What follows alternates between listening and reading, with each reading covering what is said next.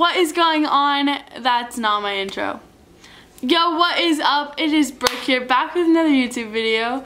So today I am going to be talking to you guys about a crazy story time that happened um, in Florida and I got left on the side of the road with my family. Um, so stay tuned for that. Don't forget to like and subscribe. Press that bell button right down there to get notifications whenever I post. Um, and let's get right into the story. So, um, we were leaving to Florida um, this day or whatever. Not this day, obviously. And um, our flight leaves out of Lubbock kind of late because I had to finish some stuff in Lubbock and so my mom just made it later just so like we could finish um, and anyways, so we weren't leaving out of Lubbock until like 7-ish. Well, we get to Dallas around like 8 obviously, because only one hour. Um, and we um, like go to our gate or whatever because we're supposed to like get on in two hours, which is quite a while.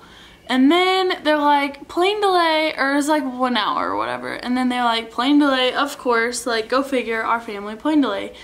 So I think it's another hour delay and we don't we don't get in to Florida until like 12:45 1ish. And we get to Florida, we're already like everybody's already like mad, like ready to be at our hotel. Like we're going to Universal Studios in the morning. We have like a VIP pass or whatever it is and that's at like 6 or it's like 9 in the morning or something. That's whenever you're supposed to start your tour or something like that. And we don't get in to the airport until 1. And mom's like, okay, so like we gotta go straight to the hotel, like get showers, go to bed. Well, we're sitting at like the carousel thing where they like send your luggage out and don't mind that we literally have 21 bags, 21 bags, not counting like carry-ons.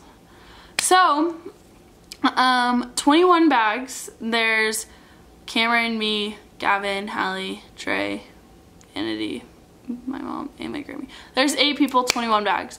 Don't mind that we are also leaving um, for 15 days for vacation. So it's eight people, 15 days. That's a lot of days. That's literally like two weeks. Um, and so anyways, we get to Florida and we go get go to like get our bags or whatever and they forget about our bags. Literally, they forget about our bags. And I'm like, are you kidding me? Like, can anything else happen? But don't worry, just just wait.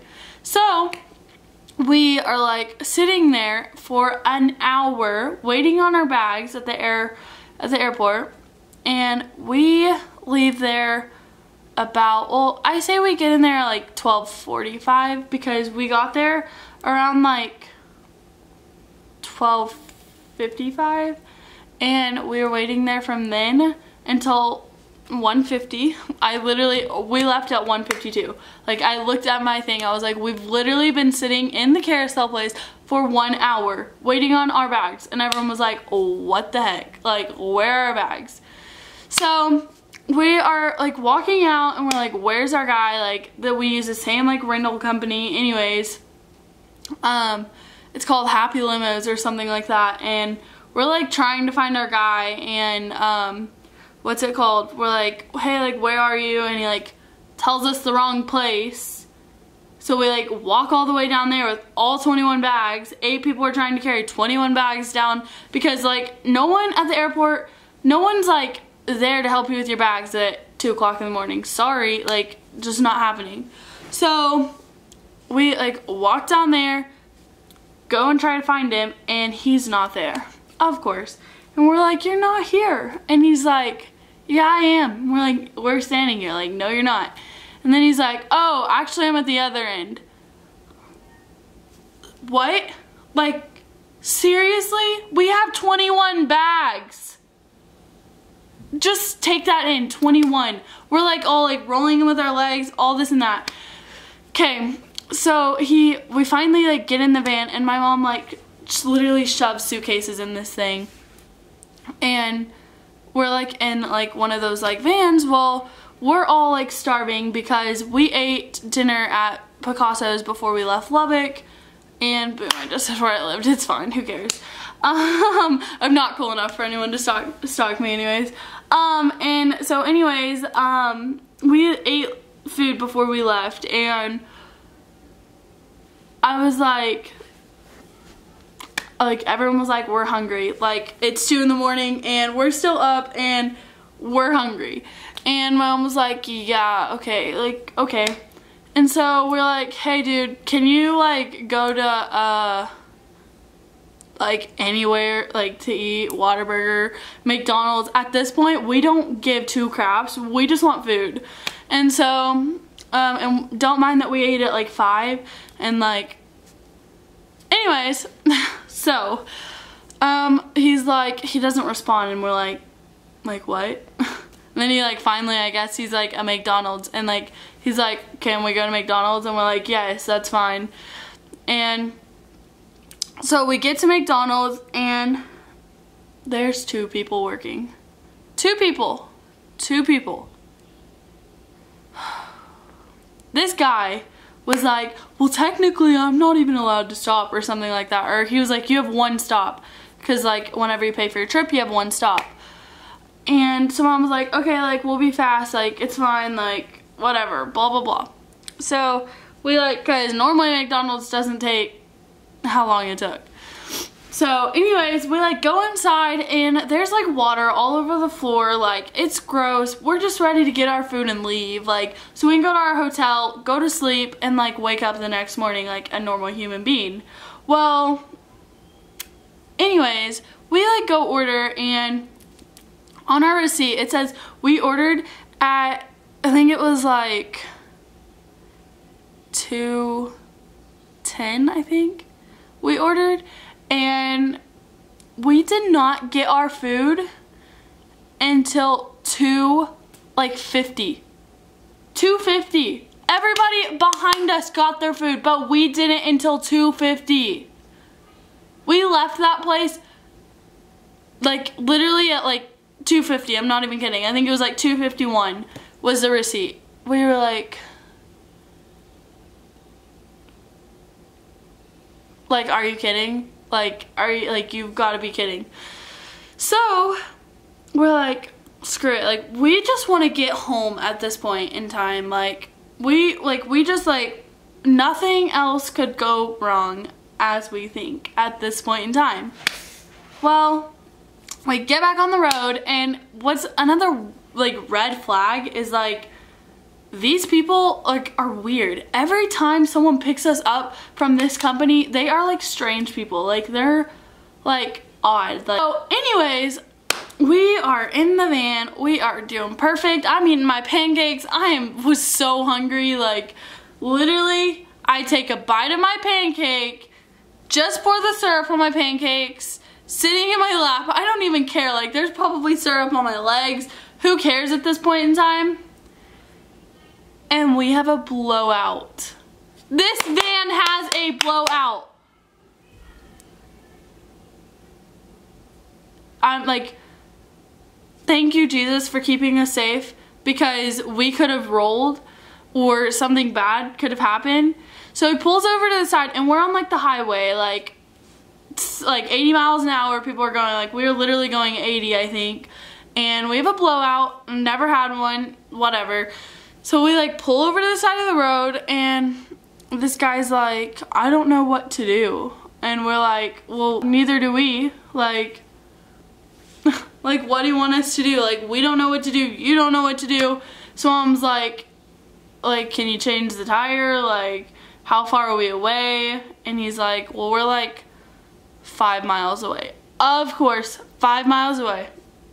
Five. Like, Jesus, could you just not have gotten us those five miles? Seriously? So, this guy means to get out of the thing and goes, take all the luggage out.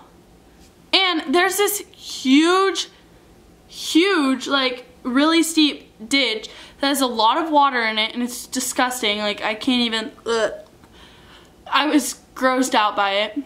And he's like, I need you to take all your luggage out. And mom's like, like we're like, okay, like what? Like what's that gonna do? But okay, we'll take it all out. Of course we said that. Uh, so we take it all out. We're all like out of the van.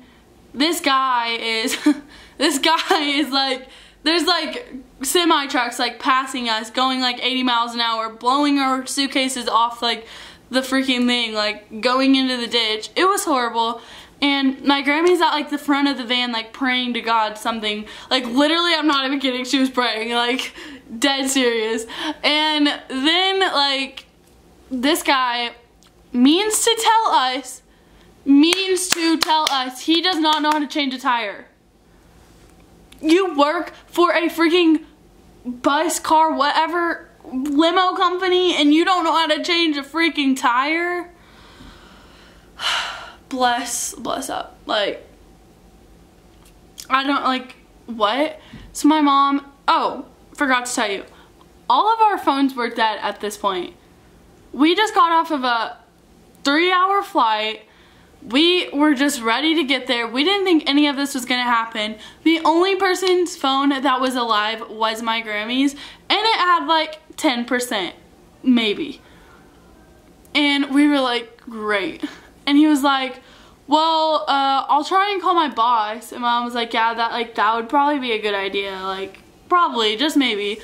And um, he's like, well, my boss is asleep. What? Like your boss is asleep and so like hammer call him. Do something. Like we're stuck on the middle like in the, on the side of like a freaking highway and you're meaning to tell me you don't know how to change a tire and your boss is asleep so you don't know what to do. That's what you're telling me? Okay. Like so we're like at this point we don't know what to do so my mom gets on YouTube, the wonderful, wonderful YouTube, but didn't help us at this point in time. Actually kind of did. Um, and goes, well then I'll just change the tire. So my mom gets her YouTube out on my Grammy's phone. She's like looking up this thing, trying to use like the last 7% battery that my Grammy has to like try to figure out how to change a tire. And have all the tools to change a tire. My mom's up underneath this thing trying to get the tire out from under the bottom of the freaking thing. And then they don't have any of the tools.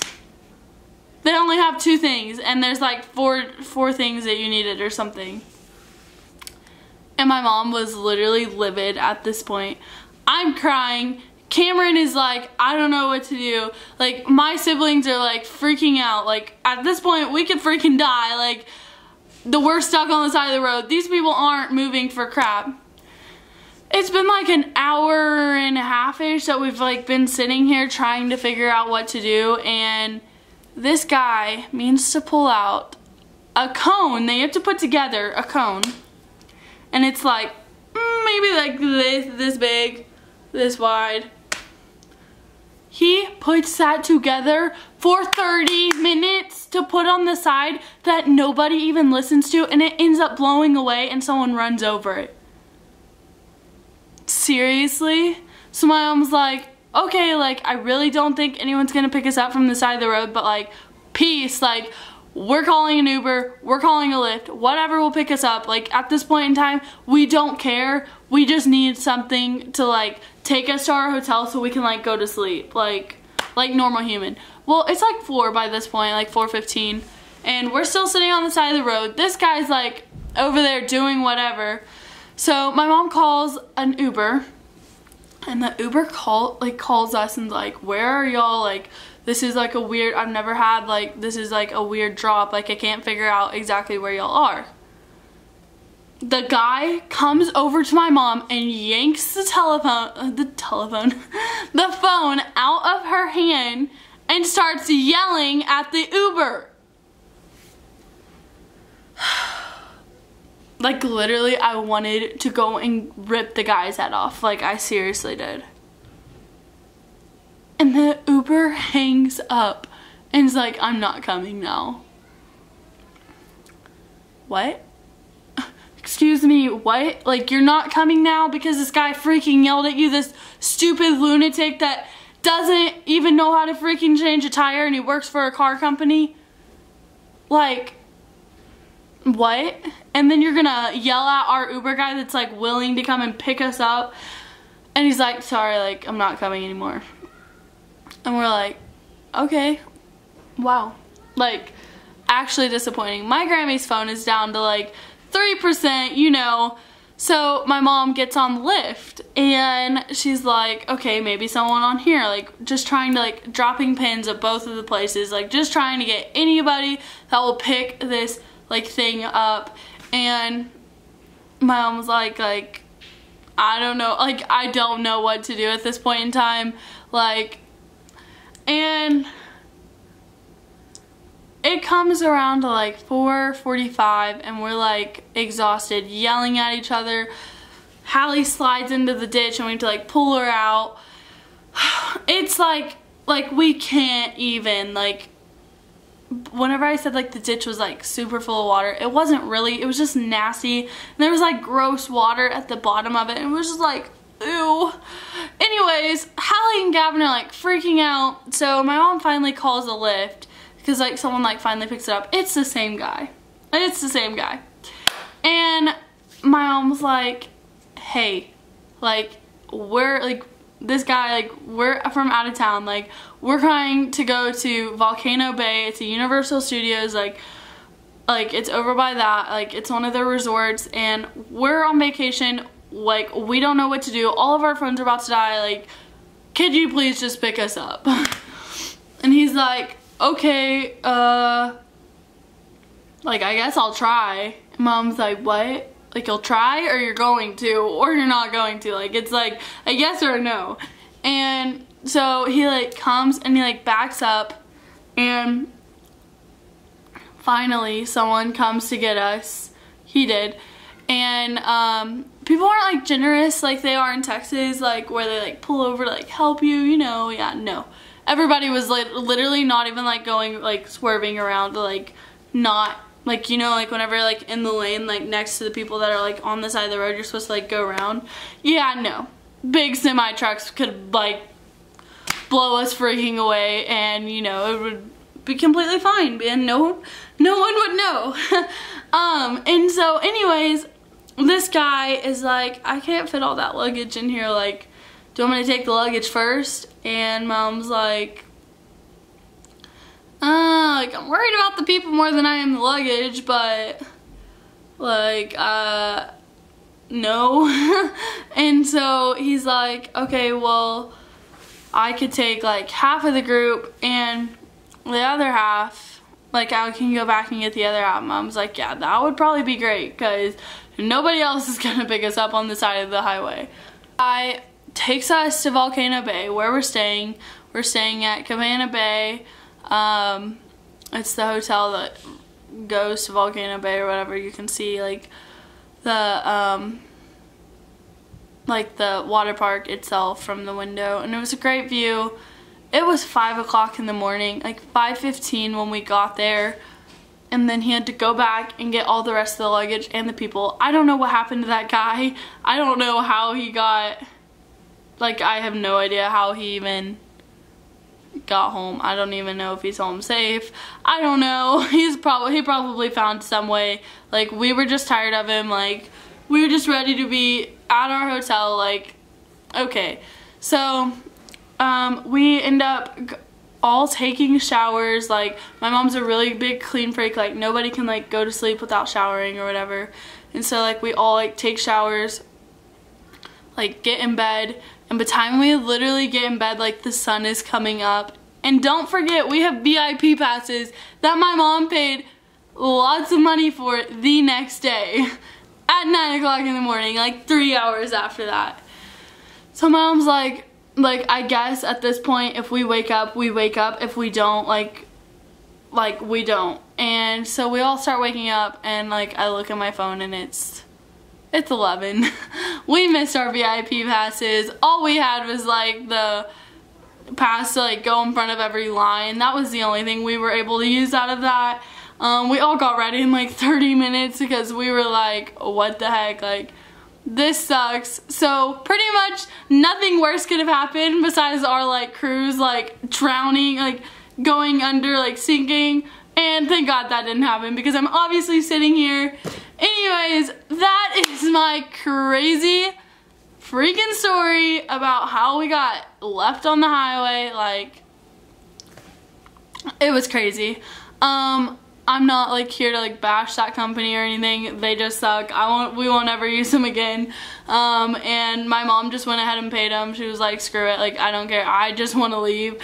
So, anyways, and they're not in Lubbock. I don't think. I think they're only in Florida. So, anyways. Thank you guys so, so, so much for watching. I hope you like this story time. If you'd like to see more, comment down below because my family is crazy. We have so many stories we could tell. Just let me know if you want to hear them. And comment down below. Like and subscribe. Don't forget to do that. Please, please, please, please, please. Thank you guys so much for watching. I love you guys so much and I will see you in the next video. Bye. Okay guys, so it's now about to be three and our tire blew out. I'm one percent. Brooke! Yeah. guys, this is what happened. what do we do? Guys, update guys, we do not have a tire, so we how easy we are stuck uh, here. We officially made it to our hotel hotel after a few hours. So, update, we are safe and we're good to go. Cam, how do you feel about our night? Oh, get the fuck out my face. He is really angry. Trey, how did you feel about our experience? Tired. He's tired. Okay, well, you heard it. Evan and Hallie, tell me what what do you think about our night? Look at these. They were Sleeping. I Sleep. it was horrible. Horrible, but look at these notes. Oh, he's angry too. Grammy, how'd you feel about our experience? It was a bunch of malarkey. malarkey. And uh, baloney.